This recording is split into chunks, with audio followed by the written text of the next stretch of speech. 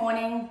This morning we got our order from the UK, from TugENuff, and I'm just going to talk to you about this tug because it's one of those tugs that's extremely versatile. But when you look at it on the website, you're not quite sure on how big it is, what it looks like, how big is it compared to your dog. So I'm going to pop out and do a little bit of a tug demo with it, with one of my dogs. Um, but first of all, I just wanted to show you how versatile it is.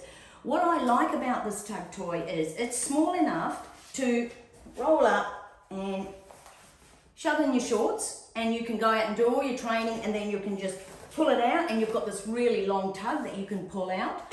You can use it for chasing because it's nice and long. You can also just use it for your nice up close work. You can hold it like that for the bite work. Um, the, the fleecy, it's quite dense. So what it does is create a very strong, thick, dense plait.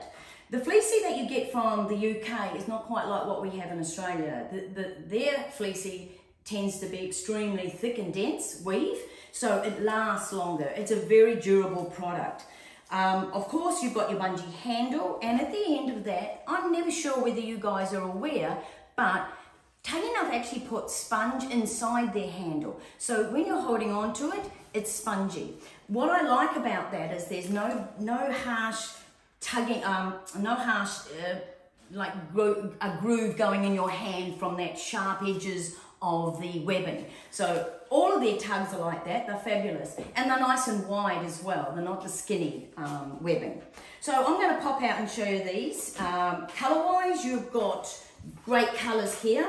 And I'll just let you know, okay, there's something that you probably didn't know about the TugENuff range, but they put blue or yellow in all their products when it comes to tugs that are gonna um, be out there maybe when you're training on the grass. Now, they love to use blue and yellow, so you'll see there'll always be blue or yellow featured in their tug toys. And that's because blue and yellow are the main um, colors that dogs see clearly.